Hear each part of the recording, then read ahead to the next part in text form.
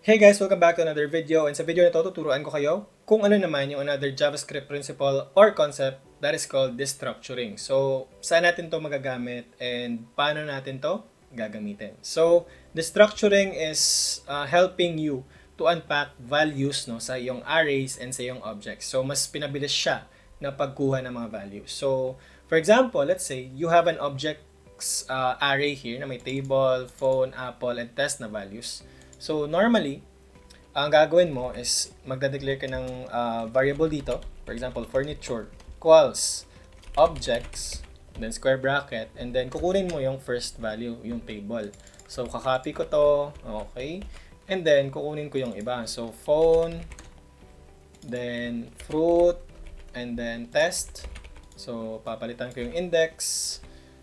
Ayan. And then, itry natin i-console.log. So, console.log furniture, phone, fruit, and then test.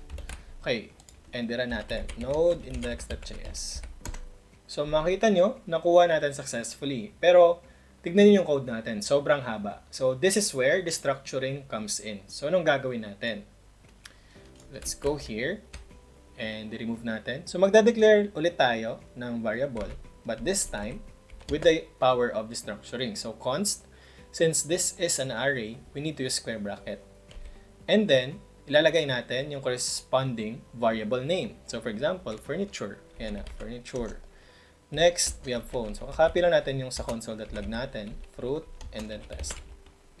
So, equals to objects. So, nangyayari na yung destructuring in the background. So, kukunin na lahat ng values dito sa objects natin, then i-assign dito sa individual variables natin. So, we have a string furniture and string phone. So, let's see if we'll have the same uh, values as before. So, for example, let's run and bam, you can see you have the same output. So, what if you will add another variable here or another value?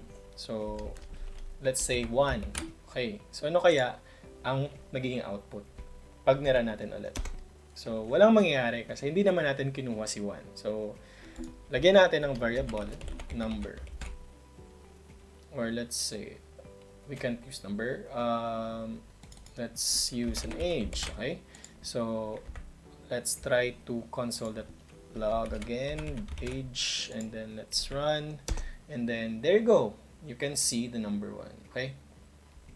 Ngayon, try naman natin paano gumagana yung destructuring with uh, the data type of object. So, let's take this as an example, uh, yung person object. So, you have a name, age, birth date, and status property sa person na variable or sa person na object. So, kanina, we're working with arrays.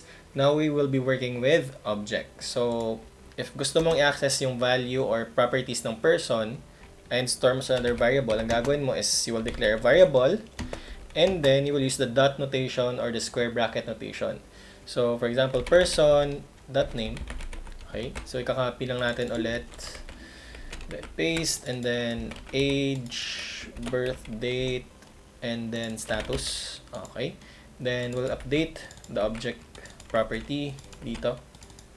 Okay, so let's try to console.log or display the values. So name, age, birth date, and then yung status.